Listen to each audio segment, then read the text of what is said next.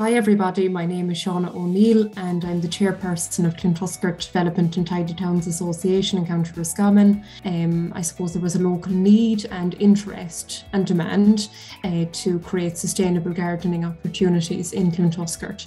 So I've been working with Cloontuskert the last few years to develop through our courses um, sort of green spaces and amenities that fit into that sort of a vision.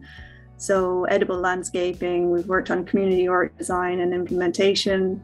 We've kind of looked at things like foraging and what is already in the green spaces around there and came up with visions and ideas for, um, I suppose, better use of the spaces that are there, for, both for biodiversity and for food security and for um, sustainable development of the village as a whole. Um, and then, sort of, all the outputs of the training, things around growing how to grow your own food, how to do stuff in community. To we've had you know days on soil types and testing soil types of trees, all that sort of thing. Anything that sort of fits into the um, project-based training program.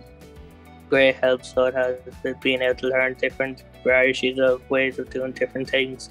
So such as such as uh, planting trees a certain way, etc. So it's definitely been a great uh, achievement even just to be able to get the courses.